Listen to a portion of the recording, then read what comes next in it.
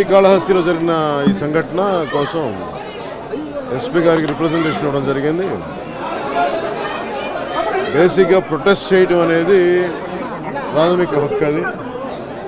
ఎవరికి ఇబ్బంది కలగకుండా ఎలాంటి ఆయుధాలు లేకుండా పీస్ఫుల్ ప్రొటెస్ట్ అనేది మన హక్కు. అలాగే ఎస్పీ గారు కూడా తెలియజేసింది.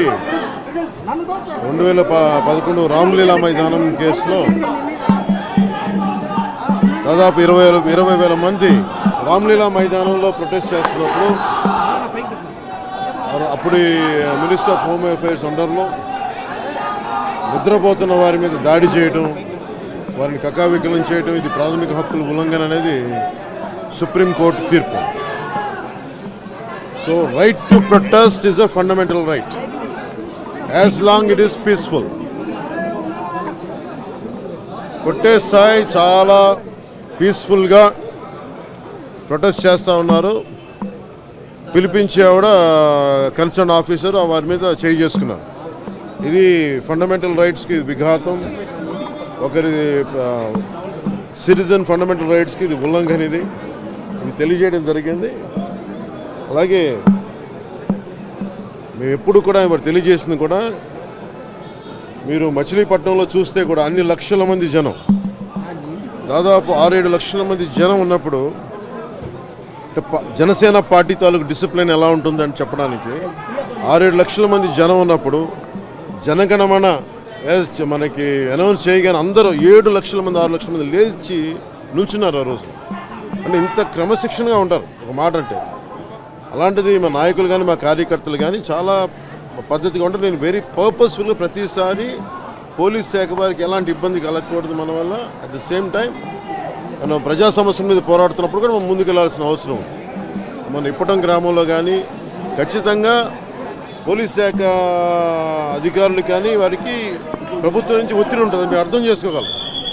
బట్ అది టు ఏ పాయింట్ ఒక స్థాయి వరకు అర్థం చేసుకుంటాం కానీ ప్రాథమిక హక్కుల ఉల్లంఘన అడ్డగోలుగా కాలు రాసేస్తున్నామంటే ఖచ్చితంగా ఇలా వచ్చి చేస్తాం. అలాగే మానవ హక్కుల కమిషన్ జడ్జి గారికి కూడా మనస్ఫూర్తిగా నా మా ధన్యవాదాలు తెలుపుకున్న సుమోటోగా కేసు తీసుకున్నందుకు. భవిష్యత్తులో ఇది అందరికీ ఇది ఒక పాఠం లాంటిది. అలాగే మేము కూడా ఈ రోజున మాటిస్తున్నాం రాష్ట్ర ప్రభుత్వానికి కానీ ప్రజలకు కానీ ఎప్పట్లాగే మేము కూడా డిసిప్లిన్గానే ఉంటాం. అలాగే మీరు కూడా పోలీస్ శాఖని ఇష్టారాజ్యంగా వాడొద్దు అనేది మా విన్నపం. థ్యాంక్ యూ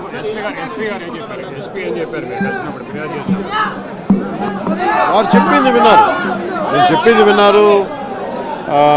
వారు వారు తెలియజేయాల్సింది వాళ్ళు తెలియజేశారు. ఇట్స్ బేసిక్ ఆయన ఆయన దృష్టిలో ఉంది ఇది. అంటే ఆయన కూడా కొట్టే సాయి గురించి కూడా ఆయన అంది ఏంటంటే చాలా బాధ్యత గల వ్యక్తి ఇది జరిగింది ఇది అనుకోకుండా జరిగింది అనేది.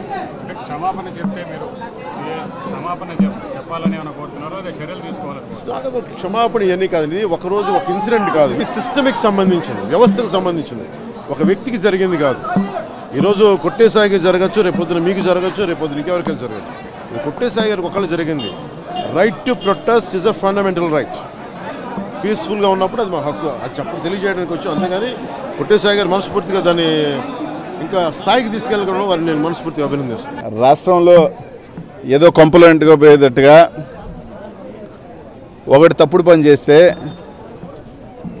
దానికి సంబంధించి ఒక మహిళా సిఐ బడుగు బలహీన వర్గాలకు చెందిన ఒక సిఐ అడిగి అతనికి బుద్ధి చెప్తే ఈరోజు ఒక యువతను రెచ్చగొడతా కేవలం యాత్రల పేర్లతో అక్కడున్న యువతని తన అభిమానులు రెచ్చగొట్టుకుంటూ ఊగిపోతూ ఈరోజు తిరుపతికి వచ్చి వేలాది ఒక బైక్ ర్యాలీలు వేసుకొని ఏదో ఒక ఎవరైనా ఒక మంత్రి చేస్తేనో ఒక శాసనసభ్యుడు చేస్తేనో అర్థం ఉంది.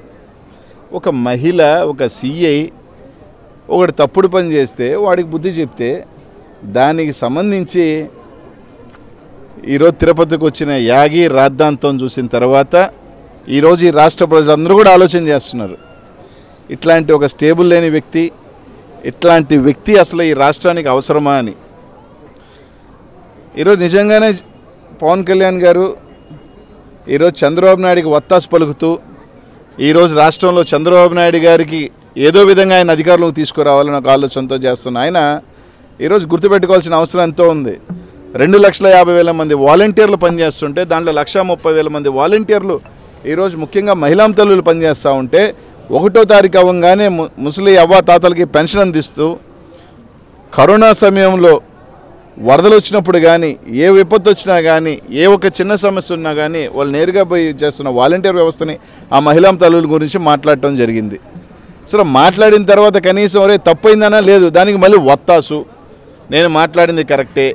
ఈరోజు నేరుగా ప్రజలకు సేవ అందిస్తూ ఉంటే దాని గురించి ఈరోజు రెండు లక్షల పైచీలకు మందిని ముఖ్యంగా లక్ష ముప్పై వేల మహిళల్ని అవమానించడమే కాకుండా ఈరోజు ఒక మహిళా సీఐ మీదకి ఒక దండయాత్రలాగా ఏదో ఘనకార్యం సాధించినట్టు మా ఓళ్ళ మీద వేస్తే నా మీదే చేయేసినట్టు అని ఒక ఘనకార్యంలాగా ఈరోజు దండయాత్రలాగా తిరుపతి ప్రజల మీద పడినట్టుంది. కానీ ఒక మహిళా సీఏకి సంబంధించి ఒక బీసీ మహిళకి సంబంధించి ఒక మహిళ తన పని తను చేసుకుంటూ పోతూ ఉంటే ఈరోజు దాని మీద ఒక అక్కస్సు. ఈ ప్రజలందరూ చూస్తూ ఉన్నారు బీసీలు చూస్తున్నారు మహిళలు చూస్తున్నారు అందరూ కూడా చూస్తూ ఉన్నారు. నాకు తెలియంది ఏంటంటే ఎక్కడో పవన్ కళ్యాణ్కి ఆ మహిళా లోకం మీద కోపం ఉన్నట్టుంది. ఒక పక్క వాలంటీర్ ఆడబిడ్డని ఆడబిడ్డలను తిడతాడు. ఈరోజు ఒక మహిళా సీఐ మీద ఒక దండయాత్రలాగా అసలు కనీసం నిజంగా నేనున్నా ఉంటే నాకు బాధ్యత ఉంది నాకు పెద్ద ఇది ఉంది సమాజం మీద ప్రేమ ఉన్నట్టు అసలు నీ కనీసం ఒక వెహికల్ మీద కారు మీద పోతుంటే చుట్టుపక్కల వేల మంది బైకులు వేసుకొని హెల్మెట్లు లేకుండా పిల్లకాయలు వస్తూ ఉన్నారు. ఒక్కడు గుద్దుకొని చేస్తే ఏమన్నా పొరపాటున జరిగి ఏమన్నా జరిగితే వాడి కుటుంబ సభ్యులకి ఎవరి బాధ్యత? ఎవరు బాధ్యత చెప్తారంట? నీ వెర్రి ఫ్యాన్స్ని కూర్చొని ఒక రెచ్చగొడుతూ ఊగిపోతూ జగన్మోహన్ రెడ్డి గారిని పట్టుకొని జగన్ అంటాను ఒకరోజు జగ్గు దాదా జగ్గు భయ అంటాను ఇంకేదేదో మాట్లాడతాడు. అరే నీ గురించి చాలా మాట్లాడగలం. నువ్వు మాత్రం ఊళ్ళో ఎవరైనా ఏమనొచ్చు? నిన్నంటే మాత్రం ప్యాంటులు తడుపుకుంటుంటావు. నిన్నంటే మాత్రం నా సాగరంగా ఓ అంటే ఊగిపోతుంటావు. నేను ఏదన్నా అంటే నిజాయితీ పరుణ్ణి నిజాయితీ పరుణ్ణి అంటావు. అసలు ఈరోజు అడుగుతా ఉన్నా నీ సినిమాలు తీసిన వాళ్ళు ఎట్టపోయినారు ఒకసారి చూసుకో. ఫస్ట్ వాళ్ళకి న్యాయం చేయి. ఆ ఏమరత్నం ఏడుస్తున్నాడు అంటే ఒక పక్క రెండు వందల కోట్లు ఖర్చు పెట్టేశాను హరిహర వీరమ్మల మీద. ఆ సినిమా ఏమవుతుందో గుడ్డేసుకొని ఉన్నాడు. ఫస్ట్ వాళ్ళకి న్యాయం చేయి వాళ్ళకి న్యాయం చేయమన్నా అంటే నేను ఇంత ట్యాక్స్ కడతాను నేను అంత ట్యాక్స్ కడతాను అంటావు ట్యాక్స్ కడితే ట్యాక్స్ కడితే ఏందని? ఈరోజు నువ్వు ఒక ప్రతిపక్షం చెప్పు ఎస్ మా తప్పులు ఉంటే చెప్పు. ఎవరినో మేము తప్పులు చేసి ఉంటే చెప్పు. కరెక్ట్ చేసుకో అంతేగాని నోటికి వచ్చినట్టు ఒక అమ్మవారి పేరు పెట్టుకొని వారాహి అనే వెహికల్ పెట్టుకొని ఆ వెహికల్ మీద ఊగిపోతూ ఉంటాడు. ఏదైనా అంటే నేను ఇలా అంటాను? మళ్ళీ ఏంది నువ్వు అనేది ఏంది నువ్వు అనేది అంట నీకన్నా ఎక్కువ అనగలం. నీకన్నా ఎక్కువ అనగలం. నువ్వు రోజు నీ కార్యకర్త మీద చెయ్యేస్తే నువ్వు వచ్చే పని అయితే నీకేం పని ఉండదు. మేము వెయ్యాలనుకున్నామని అంటే ఏదో ఒకటి మీ మీ బచ్చగాళ్ళు మీకు ఉన్నది ఒకటే. ఆ సోషల్ మీడియా అది ఏంటంటే ఇళ్ళలో కూర్చున్న సార్ ఇన్స్టాగ్రామ్లు కొట్టుకుంటా ఫేస్బుక్లు పెట్టుకుంటా ట్రోల్ చేసుకుంటుంటారే. ఇది తప్ప ప్రజలకు ఏం ఒరిగిందే మీ వల్ల? ప్రజలకు ఏం ఒరిగిందంటే నీ వల్ల? సినిమా టికెట్లు బొక్క నీ అభిమానులకి కట్అవుట్ల బొక్క నీ అభిమానులకి. ఇది తప్ప ఇంకేం లేవు. ఏదైనా అంటే చదువు సందేహాలు బాగుంగొట్టుకొని నీ చుట్టూ తిరగాల్సిందే తప్ప ఏదైనా ఒక బాధ్యతమైన పని చెప్పాను నువ్వు నీ కార్యకర్తలకి నీ అభిమానులకి కానీ ఇండివిజువల్గా పోటీస్తే నువ్వు గెలవు. అదే పొత్తు ఏదో పెట్టుకొని ఏదో గెలవాలని చూస్తూ ఉన్నావు. ఏమన్నా అంటే ఒక రోజేమో నన్ను సీఎం చేయండి అంటావు. ఒకరోజేమో నాకు సీఎం వద్దు ఆయన సీఎం చేయంటావు. ఒకరోజేమో నాకు ముప్పై టికెట్లు చాలంటావు. ఒకరోజేమో నేను నూట డెబ్బై అసలు ఏదైనా స్థిరత్వం స్థిరం లేని వ్యక్తివి నువ్వు. ప్రజలు నీతో ఉన్నారంటున్నారు కదా మీరు. ప్రజలు మీతో ఉన్నారంటున్నారు కదా. ఎస్ మేము నూట డెబ్బై ఐదు పోటీ చేస్తాం. లేదు సరే మేము ముప్పై పోటీ చేస్తాం. లేదు ఇరవై లేదు పదే ఒకడేమో ముప్పై సీట్లు తీసుకుంటాడంటాడు ఒకడేమో పవన్ కళ్యాణ్ సీఎం అంటాడు. ఇందిరా స్వామి ఇది పిచ్చోళ్ళ రాష్ట్ర ప్రజలందరూ కూడాను పెచ్చోళ్ళా అని అంటున్నా. నీకు పెచ్చ? లేకపోతే నీ కింద కింద ఊగిసలాడుతున్న వాళ్ళకి పెచ్చ? నువ్వు ఏదైనా అరుపరిస్తే సినిమాలో ఒక డైలాగ్ ఉంటుంది. ఎడన్నా సినిమాలో ఊగిస్తే కింద థియేటర్లతో ఊగి అట్ట పోనకం తప్ప ఇంకేం లే. ఆ పోనకం ఆ నువ్వు అరిసినంత సేపే అరిసినంత సల్లారి మా ఇంటికి పోయి నా సారం చొక్కేసుకొని పనుకోవటం తప్ప ఏం లేదు మనకి. మనకి నా సారం సింగిల్ డిజిటే నువ్వు ఎంత తిరిగినా ఆ వెహికల్ ఖర్చు బొక్క తప్ప. పాప మా పిల్లకాయలకి బైక్ పెట్రోల్ ఖర్చు తప్ప. ఆ సోషల్ మీడియాలోను వీటిలో అరుచుకోవాల్సింది తప్ప ఏమి ఊడబెరికేది ఏమీ లేదు.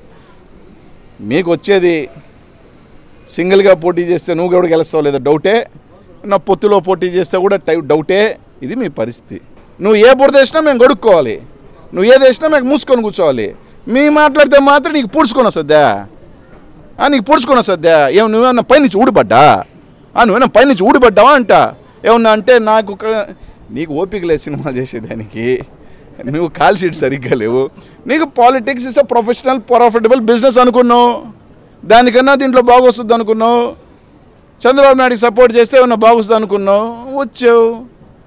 హోల్సేల్గా ఆమె అభిమానుల్ని కార్యక్రమం అభిమానుల్ని ఒక ఎరువులు ఉన్నారు కదా. ఓ అంట. వాళ్ళకి ఇప్పుడు తెలియదురా అరే మీ అభిమానులందరికీ చెప్తున్నా. మళ్ళీ చెప్తున్నా. మీకు ఇప్పుడు తెలీదు. ఉడుకులో ఉన్నారు. ఐదారు సంవత్సరం రక్తం ఐదైపోయిన చల్లారిపోయిన తర్వాత జీవితాలు సంఖనాగిపోయిన తర్వాత ఇతన్ని నమ్ముకొని ఆడి జీవితం బాగానే ఉంటుంది. మీ జీవితాలు సంఖనాగిపోయిన తర్వాత మీ తల్లిదండ్రులు నా సౌరంగా ఏడుపులు ఏందిరా వీళ్ళేం పని? అప్పుడు మీకు తెలుస్తుంది ఆ బాధలన్నీ. ఎందుకంటే చెప్తున్నాను అంటే ఇవన్నీ సంకర ఆగిపోయినోడి నేను కూడా ఉన్నాను కాబట్టి. ఒక అద్భుతమైన రాజకీయ నాయకుడు ఇతను మాత్రం. సినిమాలో ఎంత బాగా నటిస్తాడని చెప్పుకుంటుంటాడో బయట కూడా అద్భుతంగా నటిస్తాడు. అసలు సినిమాలు ఉన్న రోజుల్లో నాకు చిరంజీవే. చిరంజీవి లేకపోతే నేను లేను. చిరంజీవి వల్లే నేను.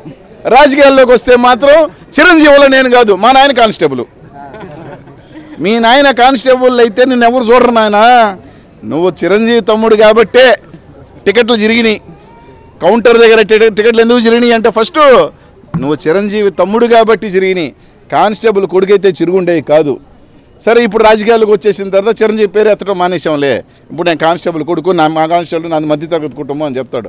అట్లాంటి ఒక మహిళా సీఐ ఒక పోలీసుకి సంబంధించి ఈయన తిరుపతి ప్రజల మీద ఒక దండయాత్ర. బైకులు వేసుకొని ఓ అంట. ఎవరికైనా ఏమైనా అయితే అది బాధ్యతలే. కనీసం ఆ సన్మార్గంలో పెట్టే ఆలోచనలే. ఈరోజు చెప్పాడు? నా కార్యకర్త మీద చేయేస్తే నా మీద చేయేస్తాను నీ కార్యకర్త తప్పుడు పని చేస్తే నువ్వు తప్పుడు చెప్పడం చేసినట్టేనా? అది కూడా ఒప్పుకుంటా? మీ కార్యకర్త ఏదైనా తప్పుడు పని చేస్తే ఆ తప్పుడు పని కూడా నేనైనా ఒప్పుకుంటావా అని అడుగుతా ఉన్నాం. కనీసం దేని మీద స్పందించాలా దేని మీద స్పందించకూడదు? అది ఇంకిత జ్ఞానం లేకుండా ఏదో ఓ అంటే వచ్చేసి తిరుపతి మీద వేసుకొని బైక్ రాళ్ళు వేసుకొని పోల వర్షం కురిపించుకొని పోల ఏం ఏం దేనికని? నిజంగా నువ్వు ఏదైనా రిపోర్ట్ ఇవ్వాలంటే పో డీజీపీ ఆఫీస్కి పో గౌరవంగా. డీజీపీ గారికి నీ స్థాయి ఓహో మన స్థాయి అది కూడా కాదా? మన స్థాయి ఇదే. ఆ?